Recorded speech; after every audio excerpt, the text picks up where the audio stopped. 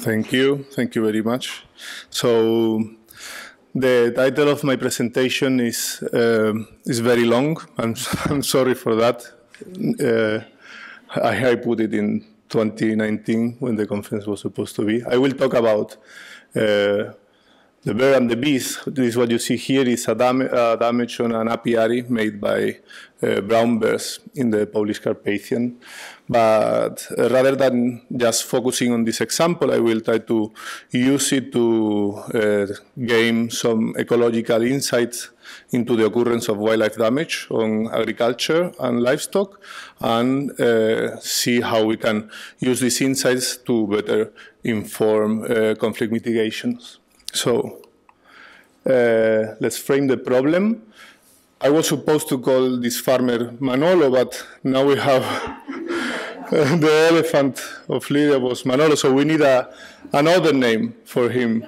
How is, how is he going to? Manu. Okay, so we have Manu here. He's, he prefers to be in harmony with his sheep and dog. Uh, in this beautiful landscape rather than finding one of his sheep killed by a bear or a wolf or, or any other predator because this of course is for him implies a big emotional loss and also economical. So what can we do to avoid this type of problems? Uh, mapping the risk of wildlife damage yeah? Uh, this will inform us which areas of the landscape are more vulnerable for damage and where can we invest in prevention, which is very important because uh, resources for conflict mitigation are very limited or very, very, very, very limited. So knowing where we have to invest the, the money is always good. Very fast, how it works. This is an example from uh, the United States with uh, wolf predation on uh, sheep. So they use uh, presence and absent data of the predation locations and they model it as a response of the of different predictors like forest cover, for instance. And based on the coefficient of the models, there is a prediction of the risk that is projected across the landscape. Here, the darker the red is the higher the risk, and then there are some areas that are classified as uh, uh, safe because they have a very low probability of damage. Yeah. So, uh, mapping uh, the risk comes also with challenges. Yeah, if we understand uh, this as the use of an anthropogenic food resources by animal, we can frame it into the theory of uh, uh resource selection, which uh, is a process understood to be uh, scale dependent and hierarchically spatial here we see the location of four apiary damage by bears in uh, the Polish Carpathians. These are the yellow dots, yeah? And if you see in the large scale, on the big plot of the left, these uh, four locations are surrounded by forests. So forest is a strong predictor at that scale, but in a finer scale, we don't see the forest to be a big predictor. There would be different predictors that are good at this scale. But yet, to have these damages happening in these particular locations, we need to have this amount of forest in the broad landscape context. Yeah. What happened that generally risk mapping uh, is uh, done, not always, but generally at one given scale or resolution. So to overcome this uh, problem, we design a, a multi-scale modeling framework uh, where we propose to model the risk of damage at three different scales that based on scale-specific hypotheses and then produce a predicted uh, risk map uh, at each of the scales and integrate these risk maps at the finer resolution to, to produce a, what we call a scale integrated risk map. So we tested this model with the case of uh, brown bear damage to apiaries.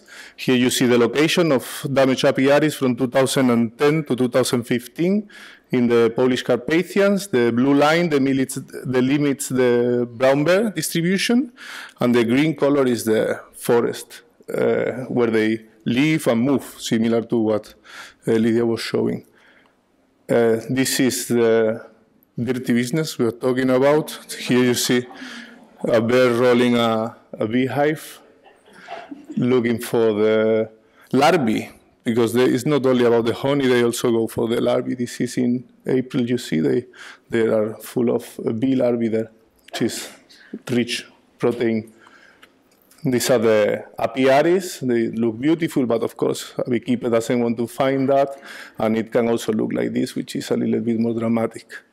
Um, so we apply the framework. We name three different scales. The first one, the broad one, is the landscape scale, a five kilometer resolution.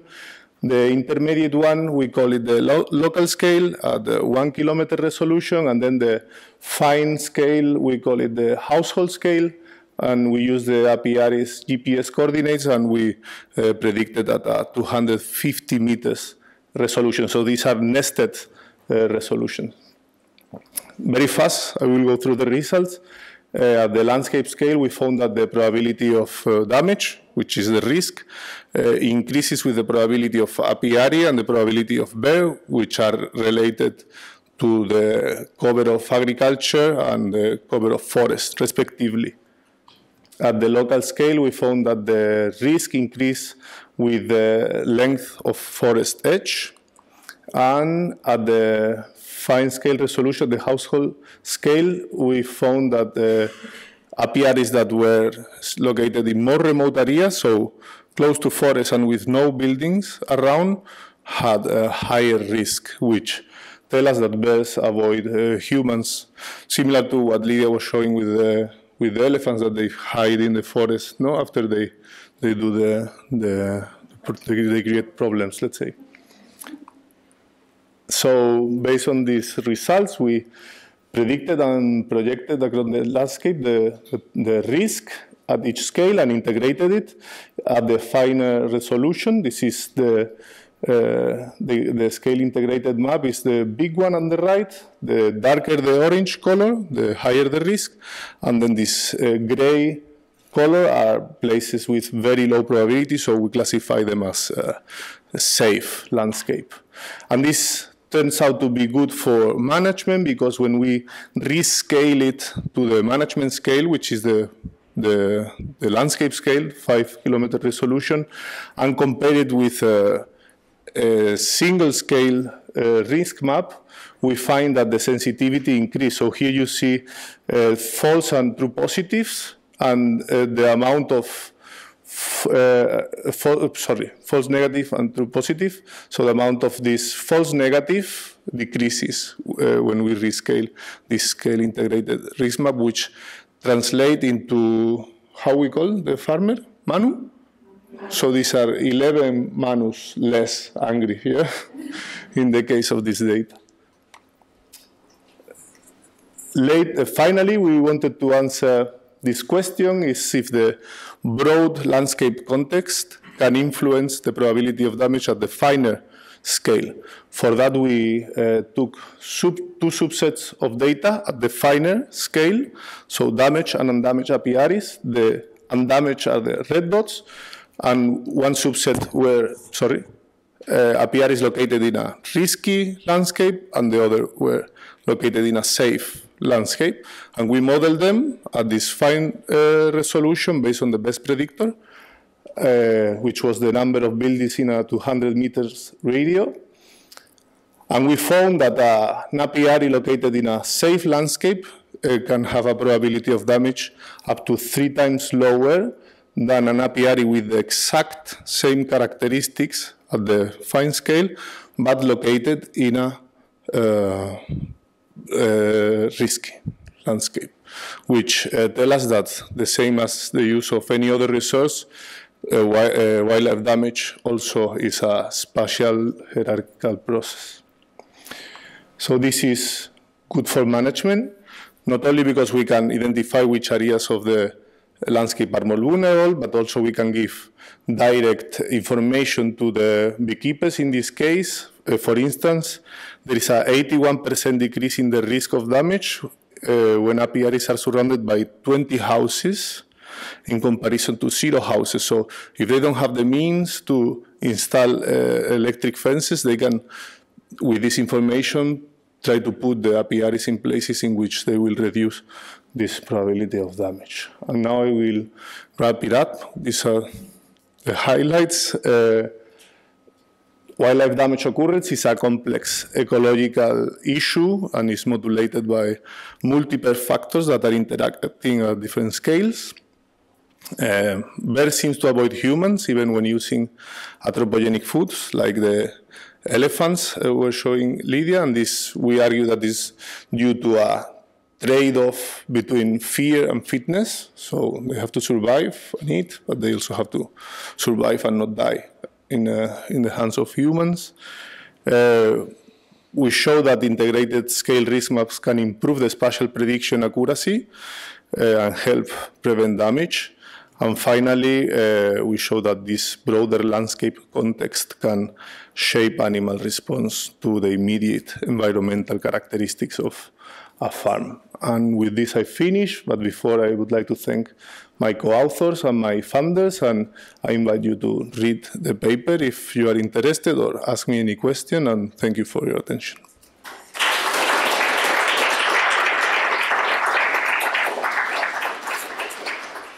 Thank you very much. So we have time for three questions.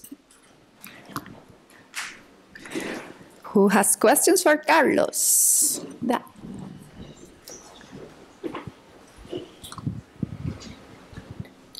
Can you hear me? Yes. So if you can risk map, can you then prevent the bears from coming into these areas more effectively? I mean, it's a very large area. They're very large animals. They sneak in at night you know, it's like elephants. It's, it, can you actually minimize the risk? Yes. So the first thing we would always try to advise for is uh, installing electric fences and maintain them because very often it happens that they are installed and then they are abandoned like if this was a magical thing that will be working there as a transparent shield. This doesn't work like this. They have to cut the grass below and they have to be sure that the batteries are working because sometimes these fences are installed but the bears pass, pass through them. Yeah. But there are also these small management actions they can also take. So luckily, uh, beehives, in, especially in this area, uh, the, sometimes the exploitations are small. So there are four or five beehives, and they are relatively easily easy to move to different places. So if they have a map where the probability can be a little bit smaller, they can decrease this, this, this risk. I, I would like to say we made a, a report in Polish and provided it to the Wildlife Administration in Poland with a shapefile. Uh, so they have all the spatial information with the hope it can be useful for them. Unfortunately, we are not in, in charge of implementing that, but we try. Uh, our intention, at least, is good, and we try to, to inform them to, to, to implement this. Yeah. You're welcome.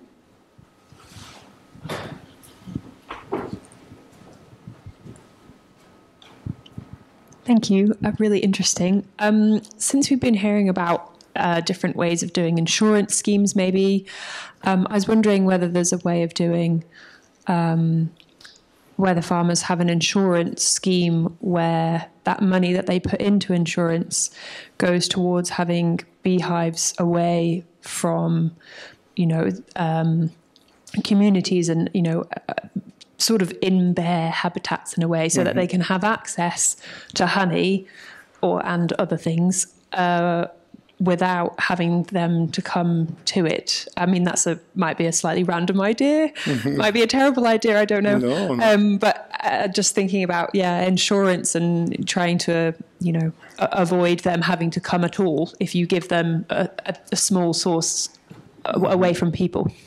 So um, how it works here is uh, there is a compensation program running for 15 years or more, and when uh, there is uh, uh when a beekeeper goes to their exploitation and find there is a damage, they call the administration, they verify the damage, look for bear uh, evidence, and then they compensate.